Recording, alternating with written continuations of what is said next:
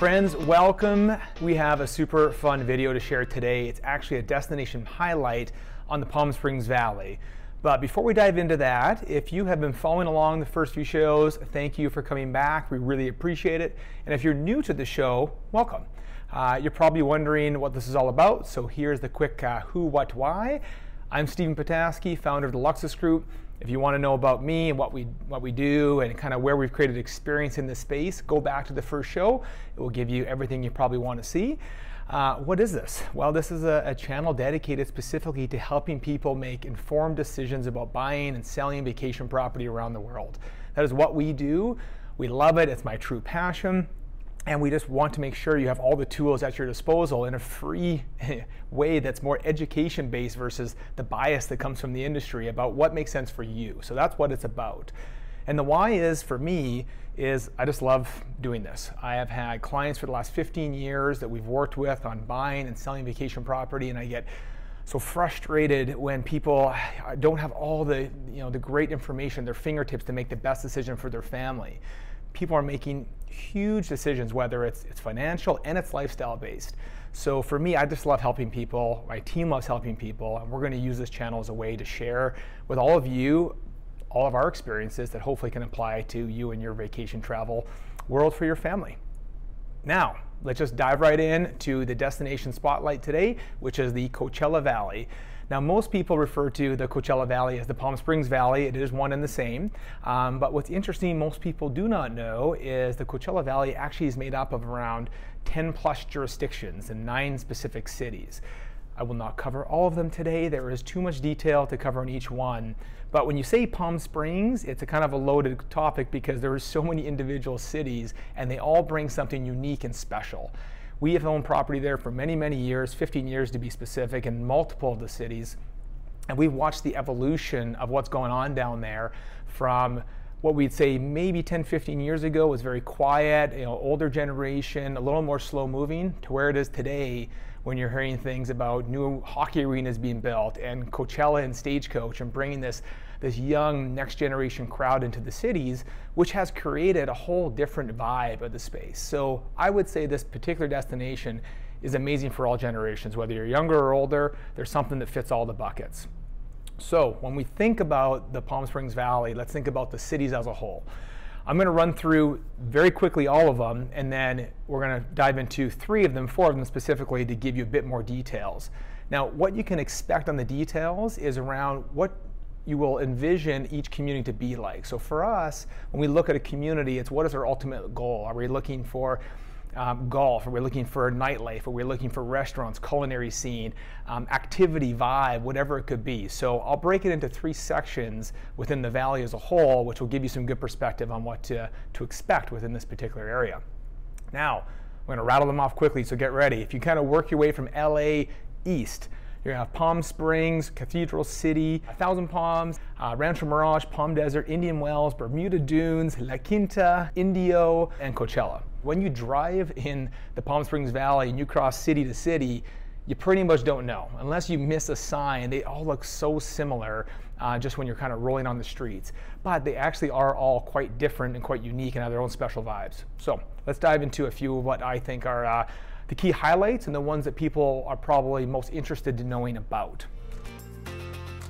First off, we'll dive right into Palm Springs. That is, um, you know, the original city. That's where all of uh, LA starlights and Hollywood and famous people would reside. They would leave the coast and come to the desert, and that's where it all began. And over the past decade, so much reinvestment has poured into Palm Springs. What you do not see a lot in Palm Springs is gated communities, because gated communities weren't really a thing 50 years ago when Palm Springs was kicking off, and they uh, they were just people building these wonderful, beautiful estate homes against the mountains, but they didn't have these things called you know golf country clubs. Uh, we'll we'll get to that when we shift to the other side of the valley. But what's the revival now is because it has this old amazing feel, is there's been this huge investment of capital that's come in from new restaurants, nightlife. Um, the, the shopping scene is incredible. They've torn down a lot of old uh, places there and built up this really, really neat experience. Incredible nightlife. So if you are interested in something like that, is a great place to not only to vacation but also to live. So expect activity and being out and about and doing some cool things. Very walkable now, which you would think in the desert's not really a thing, but they have created some really great places where you can just go walk, farmers markets, and, and experience what I think is one of the coolest places in the valley. Now, what you might be curious about is how to actually own there and what it might be to rent there. Now, typically, from a rental perspective, you, you could visit a hotel, no problem, you understand what that means. Short term vacation rental is a whole different program. What had happened is typically short term uh, vacation rentals are governed by the HOAs or homeowners associations of each individual community. So uh, say it's a golf community and there's 500 homes there. They'll have their own rules that ultimately govern short-term vacation rentals, which generally they don't want them. They want people to reside or reside part-time. Now again, go to the beginning of Palm Springs. There are no gated communities or very, very few. So what do you have there? You had this uh, huge number of homes where back about a decade ago, people were vacation renting through the roof. Everyone was. And that was the onset of Airbnb, and we're going to cover that in a whole different video. So eventually the city was getting complaints. You had this, this huge movement from people that would reside there and they did not like the new vibe. They didn't want people coming and going to their neighbor's house, party for the weekend from LA, and then, then go back. I'm generalizing, of course, because it's not that bad. Uh, not all vacation renters are disrespectful. It's not the case. Um, but that is the, what people were feeling, and so there's this movement to stop it. On the flip side, there was this huge movement of people uh, that were landlords, people that own these homes, both individuals that were renting them out part time, and uh, it's sophisticated investors that were buying multiple units and renting them out. So there was this, this great divide, and it ultimately went to ballot. And I, about six, seven, eight years ago, I believe it went to ballot. It was very contested, lobbying on both sides, and ultimately, what won was the allowance of STVRs in Palm Springs a bunch more restrictions and conditions on how, as a landlord, you can do it. There is ways to uh, you know, complain if your neighbor is doing it inappropriately. Um, there's permits and regulations and a whole system behind it. So I will say of all the Coachella Valley cities, the best chance of you getting a vacation rental, and you'll hear when I go through it, is going to be in Palm Springs because of the fact it is legal, it's regulated, and it's already been approved via a voice of the citizens through a vote. So when you check it out there and you're renting, you'll know it's being done, generally speaking, on a legal basis, when in many other communities it's done on an illegal basis or in a way that's uh, not consistent with the rules that they should be governed by.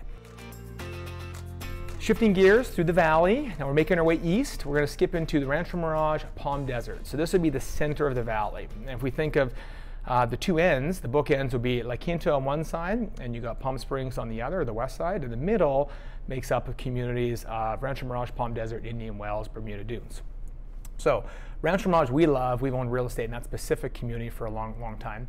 Um, it's interesting. Rancho Mirage is, I would say, one of the most unique communities because it has a wonderful combination both of private gated country club communities and also some remarkable non-gated estate communities. When I say a non-gated estate communities, it would be a typical residential street you'd see, you know, in most cities, but with some unbelievable homes. So Clancy Lanes, one if you Googled, you would hear that and you'd see some amazing homes. Vista Dunes is an up and coming. And I say these are typically one acre to five acre parcels with these amazing estates that have been created there. So Rancho Mirage has this wonderful mix of that. And because it's in the heart of it all, it's only 20 minutes from the airport. You got plenty of great public golf courses. There are some private golf courses, as mentioned. You're close to the Palms to Pines Highway, which takes you over into Temecula and San Diego. Really, really great central spot. From an overall perspective on value, I would say it'd be the top three cities in terms of um, expense on the high side, simply because of the, uh, the value of the homes there and the experience, and it's just it's just wonderful. So as a result, homes trade for higher than other cities. From an STVR perspective, interesting timing, and this will you'll hear this as a common theme as regulation is uh, persists through so many different cities. Rancho Mirage, the previous couple mayors had uh, a, a, lot of love and, and belief in short-term vacation rentals in a highly regulated state. The feeling is, is through a highly regulated state, you can charge what's called a TOT, or transient occupancy tax, to everyone who does nightly rentals. Now, when they govern it, they would limit the amount of rentals per pocket. They would limit the, uh, the amount of time you could rent your home in various aspects. But as of October of this year, there's now a moratorium on STVRs. Some people may still do it. They may still do it under the radar. They may do it less than 30 days and not rent till the future month.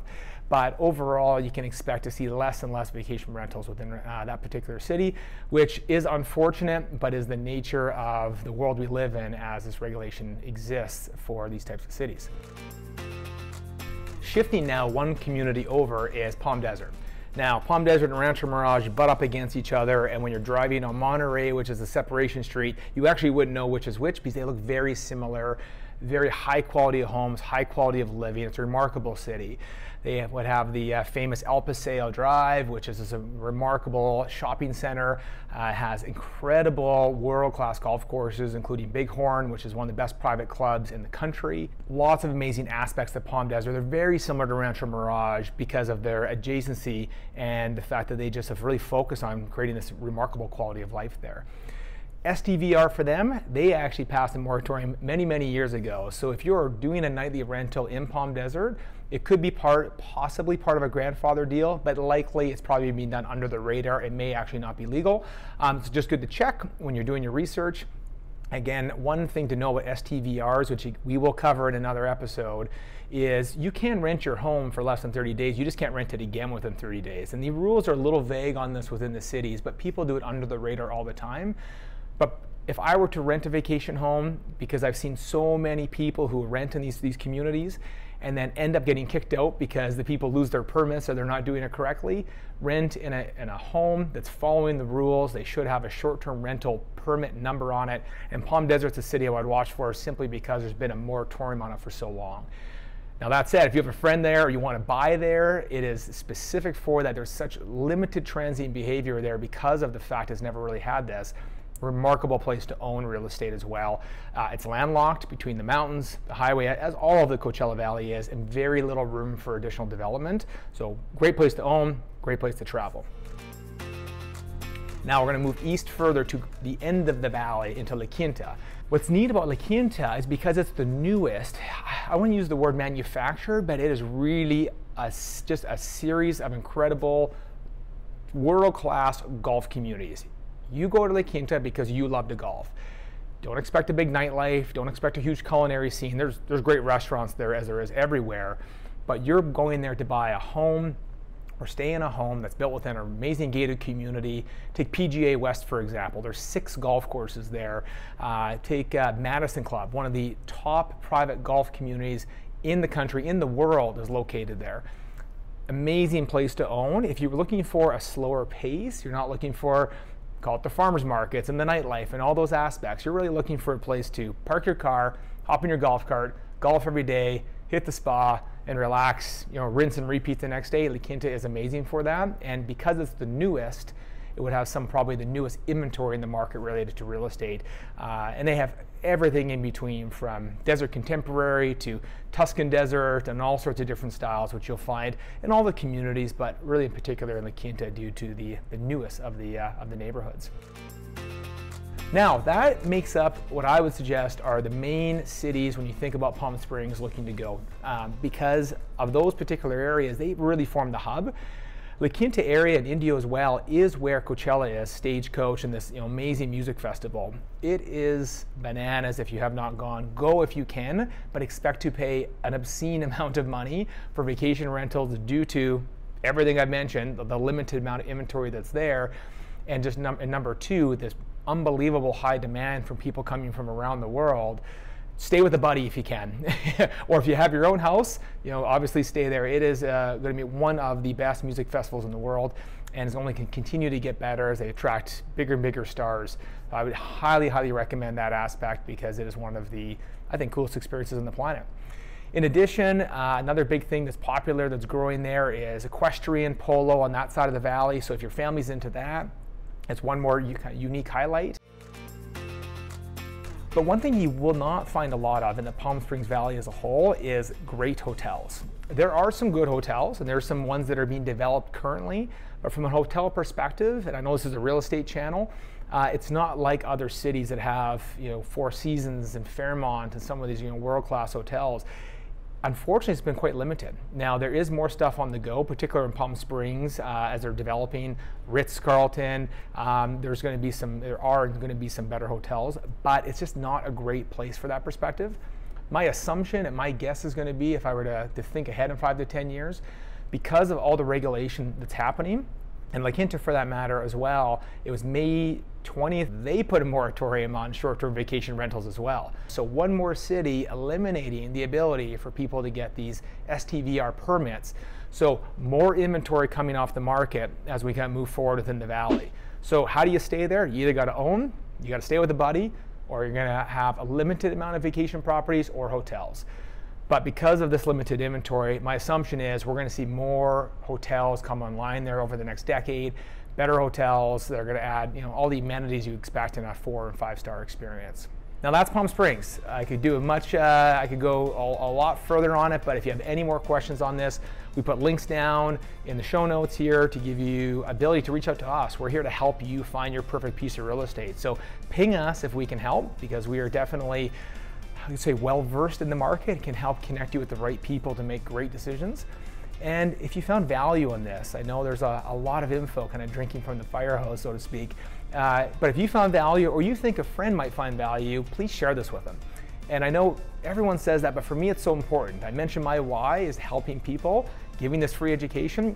You will help me by helping others. Spread the word, send this link off, give it a like, whatever. Really appreciate it. Thanks again for tuning in today, and we'll catch you in the next show.